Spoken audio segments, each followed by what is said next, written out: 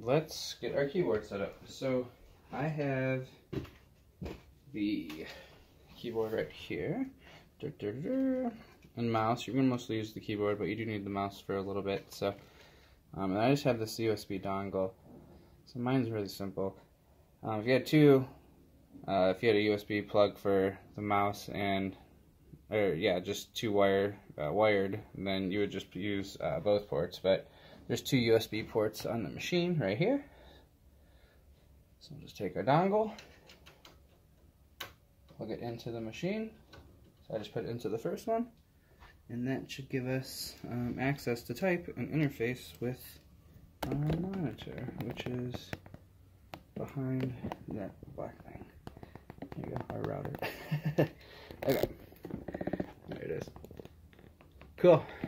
So another shaky cam. I gotta get better at this, but uh, yeah, really simple. Keyboard's installed now. The screen is installed, and we're gonna turn this puppy on.